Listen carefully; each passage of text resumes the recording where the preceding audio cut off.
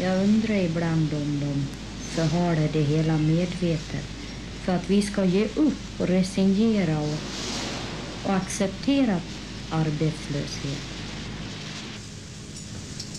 De flesta av oss, om vi tänker att, att vi ska bli arbetslösa så, så tror man innerst inne att nej, det, det drabbar nog inte mig. Jag har ju jobbat fem år. Det finns ju de som har jobbat två år bara.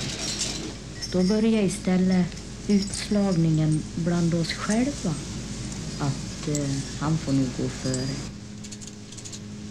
Och är man då tjej och är man gift dessutom, då slår det mot oss på en gång. Jag blir väldigt förtvivlad när de säger att du är ju gift, så du, du har väl ditt på det torra. Men för mig är ju arbete livsviktigt. Det handlar ju inte bara om att vi ska ha två löner. Det handlar ju om att jag försörjer mig och att jag har ett värde